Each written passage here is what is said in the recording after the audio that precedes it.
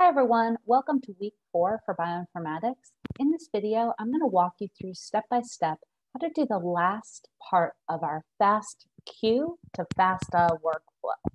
So this is step project 111. Um, and what we're going to do is we're going to take our variant call file that we've produced on Galaxy. You can click on the step in your history that has the variant call file with the best um, selection of variants based on the different settings that you ran in step 1-9. I'm going to download the file to your computer.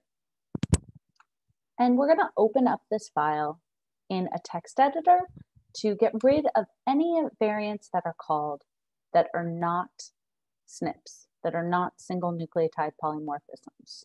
A text editor is a great way to edit a variant call file because it won't change the file type, it won't change the formatting, and we can get rid of this one row, save the file, close it, and now it's ready for processing. Once you have the variant call file on your computer, you're going to want to download the FASTA version of the genome. So I put that link in the assignment. And you have everything you need to use our class website.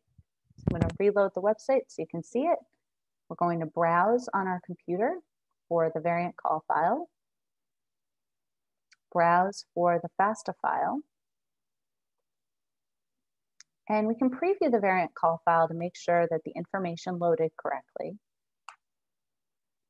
And then we can figure out 10 bases before the first variant in our file and the position for 10 bases after the second variant in our call file. Once we've entered these two numbers, you can see there's a FASTA file that gets created where each letter that differs, here this lowercase c becomes a capital T, is modified.